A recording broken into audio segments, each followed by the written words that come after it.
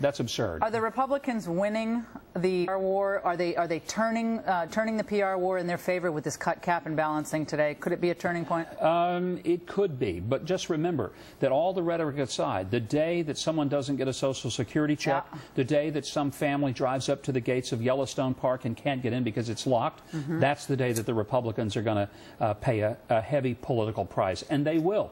I know it's not fair, but life isn't fair, and when the media is going to spin this Obama's way, which they will, mm -hmm. it is going to make it very tough for the Republicans to come out okay on this. Let's